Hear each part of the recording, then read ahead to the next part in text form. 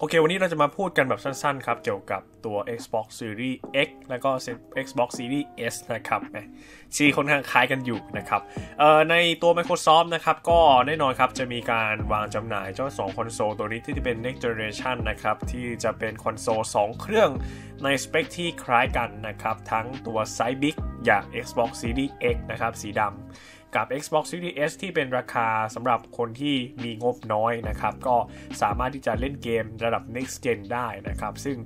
Xbox Series X กับ S เนี่ยก็มีสเปคที่คล้ายกันอยู่นะครับ แต่ว่าวันนี้เราจะมาเจาะกันว่ามันจะมีความแตกต่างอะไรบ้างนะครับ มีการเปิดตัวราคามาแล้วนะครับ ตัว Xbox Series X ตัวใหญ่ตรงนี้นะครับ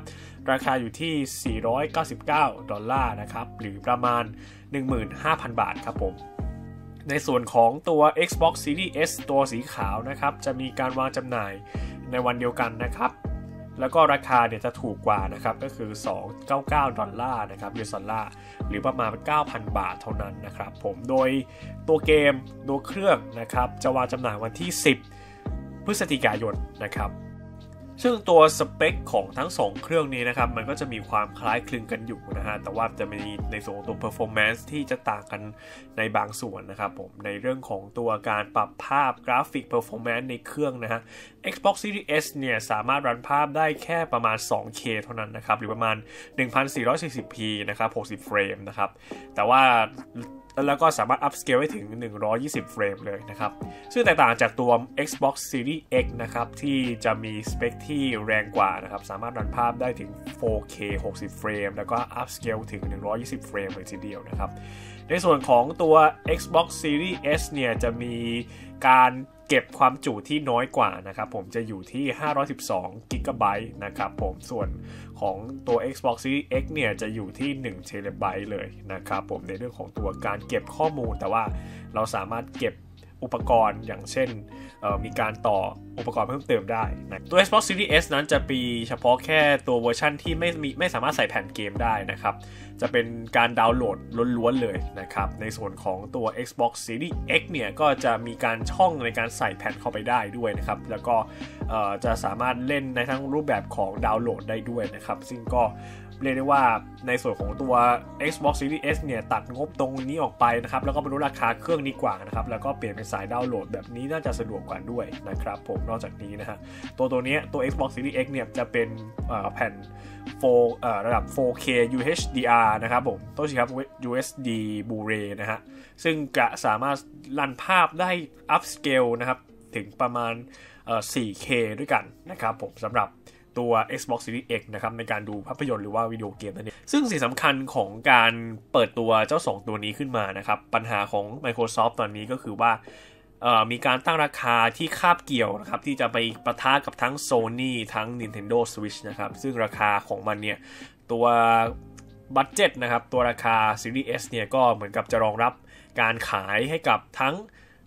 คนที่กำลังจะเล็งซื้อ PlayStation 5 แล้วก็ PlayStation 4 ด้วยนะครับ เพราะว่าราคา 9,000 บาทในตอนนี้นะฮะ ก็ถือว่าราคาของ PlayStation 4 เนี่ยจะต้องดรอปลงไปมากกว่านี้อีกนะครับ ในส่วนของตัวราคา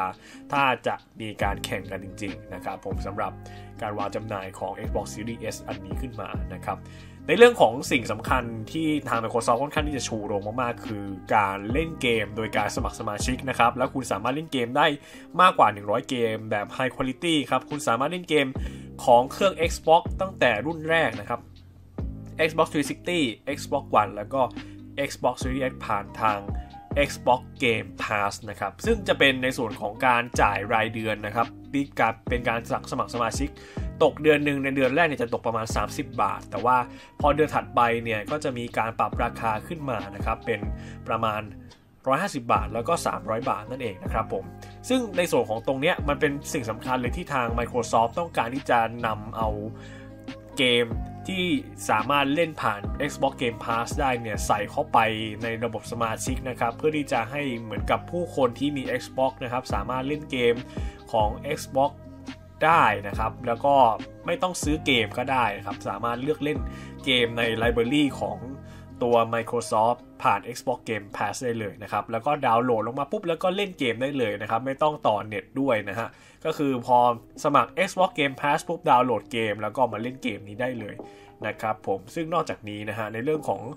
ตัว Xbox Game Pass เนี่ย มันก็จะมีการไปโคกับค่ายอื่นด้วยอย่างเช่น EA Play นะเท่ากับว่าถ้าคุณสมัคร Xbox Game Pass เนี่ย จ่ายแค่ราคาเดียวนะครับ คุณสามารถที่จะเล่นเกมของค่าย EA ทั้งออกใหม่แล้วก็ออกเก่าได้หมดเลยนะครับ โดยจะเป็นสมาชิกของทั้ง Xbox Live Go ด้วยนะฮะ ก็คือสามารถเล่นเกมออนไลน์ได้ แล้วก็สามารถเล่นเกมผังของ EA Play ได้อีกด้วยนะฮะ ซึ่งเป็นอะไรที่โคตรเจ๋งเลยนะครับ เท่าที่ความคิดผมนะฮะก็คือว่า คุณจ่ายปกติคุณต้องจ่าย Xbox Live Gold อยู่แล้ว คุณสามารถที่จะจ่ายผ่าน Xbox Game Pass ในราคาเดียวเลยนะครับ 300 บาทต่อเดือนเนี่ย คุณสามารถที่จะเล่นเกมของทั้ง EA Play ได้ คุณสามารถเล่นเกมออนไลน์ของ Xbox Live Gold ที่จะแจกให้อีกด้วยนะครับ ซึ่งมันเป็นอะไรที่ค่อนข้างที่จะเหมือนกับจะแย่งตลาดในรูปแบบของการ ดึงดูดให้ผู้คนนะครับไปจับจ่ายใน Microsoft นะครับ Xbox Game Pass แล้วก็ Xbox All Access นะครับ ก็จะมี Exclusive Content อะไรเพิ่มเติมไปอีกนะครับสำหรับการที่ Microsoft เปิดตัวแบบนี้ออกมานะครับผมซึ่งมันก็จะเป็นปัญหาหนักของ Sony อยู่เหมือนกันนะครับ เพราะว่าในเรื่องของตัวเกม ที่ Microsoft ให้มาเยอะขนาดนี้นะครับ ผ่านการจ่ายเงินของ Xbox Game Pass ที่มีการจ่ายแบบรายเดือน Membership อย่างเงี้ย มันทำให้ผู้เล่นอย่างเรานะครับ ก็มีประโยชน์มากขึ้นนะครับ ในการที่จะสามารถซื้อเกมในราคาที่ถูกกว่า หรือว่าสามารถที่จะใช้การสมัครสมาชิกที่ถูกกว่าได้ด้วยนะครับผม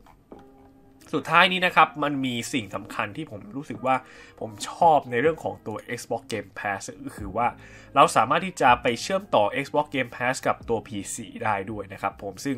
เราสามารถที่จะไปดูได้เลยครับว่าเราสามารถดาวน์โหลดตัวแอปพลิเคชัน Xbox Game Pass Beta นะครับแล้วก็มีเกมอะไรที่เราสามารถที่จะดาวน์โหลดมาเล่นได้บ้างนะครับตัวเกมก็จะมีให้เราได้ดูกันนะครับผมก็จะมีทั้งเกมฟอร์มยักษ์นะครับเกมแพลตฟอร์มดีๆ ออกมาเยอะมากๆเลยนะครับผมไม่ว่าจะเป็นอย่างเกมอย่างนี้เลยนะฮะเราจะเห็นได้ว่ามีเกมอะไรบ้างครับ มี Resident Evil ที่7นะครับมีมี Stranger Things นะครับมี Back to s e r ใช่ไหมมีเกมอย่างเวสเซลแลนด์นะครับผมมีเกมอย่าง World War C เห็นไหมมี Fight Simulator เอ่อเดี๋ยว Fight Simulator ด้วยนะครับ มีเกมหลากหลายเกมที่เราสามารถจ่ายเพียงเดือนแรกเนี่ย30บาทเนี่ยเราสามารถเล่นเกมพวกนี้ได้หมดเลยครับ แล้วไม่ต้องต่อเน็ตด้วยนะฮะ เพียงแค่คุณดาวน์โหลดเกมนี้ได้สำเร็จเนี่ยคุณสามารถที่จะซื้อ แล้วก็สามารถเล่นได้เลยนะครับผมซึ่งเรียกได้ว่ามันเป็นแผนที่น่าสนใจมากๆนะครับที่ คือเหมือนกับอารมณ์เราดู